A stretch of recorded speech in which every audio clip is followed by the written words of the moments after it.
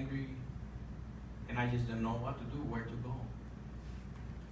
Uh, I got into some trouble and I ended up in segregation, solitary confinement.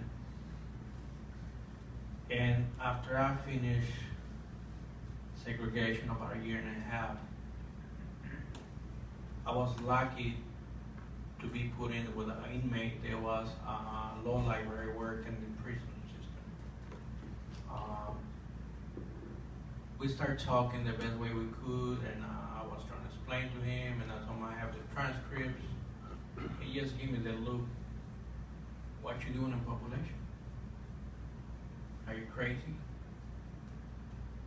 But uh, I said, can I read your transcripts? I said, sure.